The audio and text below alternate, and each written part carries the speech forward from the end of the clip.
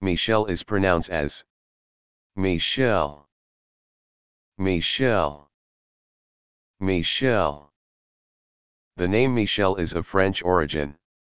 It is pronounced Michel. Michel is a masculine given name, meaning who is like God.